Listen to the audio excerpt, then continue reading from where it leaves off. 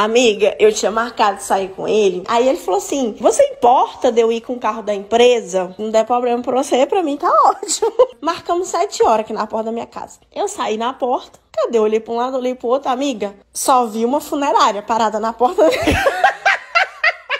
Eu falei, gente, morreu alguém na rua. Mandei mensagem pra ele, falei assim, onde você tá? Você deve estar tá na rua errada. Ele falou assim, tô, tô aqui na rua tal. Ele falou, vou sair. Amiga, quando ele sai, ele sai de dentro da funerária. Amiga, nisso, os vizinhos tudo saindo. Tava na porta da minha casa falou, Ariane morreu. Peguei, entrei logo no carro. Ele falou assim: se você quiser abaixar mais o banco, pra ninguém te ver, você pode abaixar. Ele falou: aproveite e descansa. Eu falei: amigo, você mandando eu descansar dentro de uma funerária. Eu falei: se eu botar a mão no peito aqui, você pega e me enterra, né? E o nome da funerária? Bom Descanso.